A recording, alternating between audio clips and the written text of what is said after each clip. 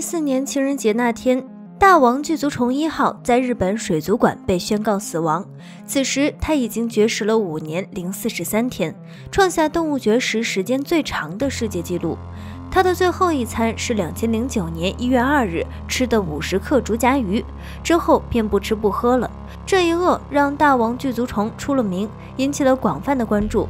在日本，几乎每个海洋馆你都能看到它的身影，一些知名餐厅也会把它当成招牌菜引入。据尝过的人说，味道有点像龙虾。那么，大王巨足虫到底是一种什么样的动物呢？大家好，这里是高能知识院，我是院长，又和大家见面了。在节目开始前，麻烦帮忙点个赞，并关注一下吧，谢谢啦。自猿人进化以来，人类可以拍着胸脯骄傲宣誓自己是世界上最具冒险精神的生物。从早前对地形地貌的探索，到后来上九天揽月、下五洋捉鳖的真理追寻，我们一直在冒险的路上，从未停止。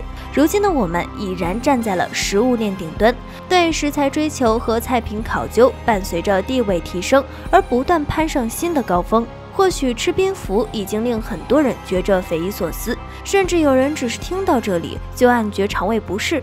但有没有想过，还有更稀奇的食物在等待着发掘？形似外星生物的大王巨足虫就是其中一员。提起大王巨足虫，相信很多人早有耳闻。这种长相奇特的大爬虫，乍一看如同被放大了若干倍的西瓜虫或鼠妇。不过，由于体型巨大的缘故，让它们的样貌看起来真的像地外之物。特别是好莱坞科幻大片外星人的流行形象，更容易加深这种印象。大王巨足虫又称巨型深海大师、巨型等足虫，是世界上体积最大的等足目动物。它们大约在1.6亿年前就已出现，一直活到了现在，但外形几乎没有发生改变，因此人们将其称为深海中的活化石。这种古老的生物长相奇特，像是电影里异形里的宇宙生物。你看，它还拥有一对特殊的复眼，这对复眼是由近四千个平面小眼组合而成，分别位于头部两侧。它的头上长着两对触须，腹部有七对关节肢，其鳞片的钙质外骨很特别，上方与头部，下方与尾部都合为一体，就像淡紫色的盾牌一样。一般情况下，大王巨足虫主要的食物是海洋生物的尸体，但也有证据表明它们不是纯粹的食腐动物，偶尔也会抓活的来吃。尽管食物来源十分丰富，但它们一言不合就会选择长期绝食。与此同时，大王巨足虫也有暴饮暴食的怪癖，它们会一次性将大型动物的尸体吃掉，甚至会因吃太多而影响运动。也许对他们来说，吃还是不吃全看心情，反正不吃也能活上几年。法国动物学家米奈·爱德华是描绘此物种的第一人，他于1879年在墨西哥湾捕捉一只大王巨足虫的雄性幼崽。这种生物的第一次出现便颠覆了当时的深海无生命论。自大王巨足虫出名后，人类发现了它是上等的美味。可由于大王巨足虫通常生活在又深又冷的深海，难以被捕获。在利益的驱使下，商家们时常用相对容易捕捉的道士、深水师来假冒它，因为这两种生物长得实在太像了，且都是等足目动物大家族的成员之一。等足目动物是一类多样性超高、适应性超强的甲壳纲动物。其实这类生物生活中很常见。如今，科学家发现现存等足目动物的种类大约有一万多种，它们的生活环境千差万别。除了种类繁多以外，等足目动物的大小、体型差别也相当大。比如某些寄生的鳃丝仅有数毫米，而大王巨足虫却能长约数十厘米。重达一公斤，然而最有趣的是，无论它们生活习性差异有多大，却还有着同一个特征，即就是它们都长着七对，一共十四条腿。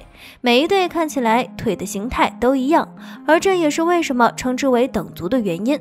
按理来说，等足目的近亲是虾蟹所属的甲壳类食足目动物，可我们常常会将潮虫误以为是昆虫，这是因为潮虫的头节肢和第一胸节愈合，剩下的七个胸节各自独立，每节上有一对步行足，这样分解的身体使它们和龙虾外表看起来差异很大。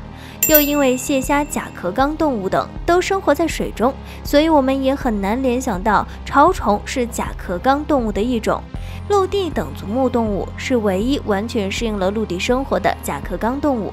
与其他生活在水中的等足目动物一样，它们一样长有鳃部用于呼吸。为此，它们也演化出了一些不同寻常的身体机能。以西瓜虫为例。它们通常会出现在潮湿阴暗的地方，它们在那里能滚成球，以保护鳃上的任何水分。此外，它们不仅不排尿，不排出体内氨含量高的废物，还会吃粪便，甚至包括自己的粪便。而在饮水时，它们会从后端伸出管状结构体，而不是从嘴巴伸出。至于等足目动物何时成功登上陆地的，则一直存在着争议。有人根据它们的演化关系推断，潮虫亚目的祖先大约在石炭纪到二叠纪间分化出来。另有人则发现的最早的潮虫化石出现在白垩纪中期的琥珀中，但能够明确的是，在潮虫出现，脊椎动物已经掀起过两波登陆的浪潮，陆地上各种动物正展开激烈的厮杀。与其他动物相比，陆地等足目动物几乎没有任何生存的优势，然而它们居然站定了脚跟。遍布世界的每个角落，而在它们之后，再也没有新的甲壳动物类群登陆成功。而近年来，科学家发现，陆地等足目动物居然也能重新在水生环境生存。这一发现正在改变我们对进化过程的看法，这仿佛在告诉人类，物种的进化并非只有单行道。物种也能进化出在早已遗忘了的环境中生存的能力。二零一二年，欧洲空间局凯夫斯地下训练计划的宇航员员被送到意大利沙丁岛的洞穴中，模拟太空环境地下受训一个星期，并进行了一项包括为地下生物分类边牧等项目的研究。他们在池塘附近及其他地方放置诱饵，以吸引并发现尽可能多的生物。为达到更好的效果，设计生物取样方案的保罗·马西亚用动物肝脏和腐坏芝士调制了一种发臭的诱饵。这一特殊佳肴能在短时间内吸引地下生物。结果，他们在一个小池塘里发现了一种特殊的陆地等足目动物。该物种完成了从原始水生生物进化到陆地生物，再返回到水生生物的进化循环。这一发现将改变人们对生物进化的认识。目前，科学家正在进行深入研究。从历史发展来看，人们对于入口食物的追求永远不会停止。菜式愈加丰富且新颖，一定是人类餐桌的主题。总会有第一个吃螃蟹的人出现。各种在过去看来稀奇古怪的食物，或许终将成为菜市场上寻常之物。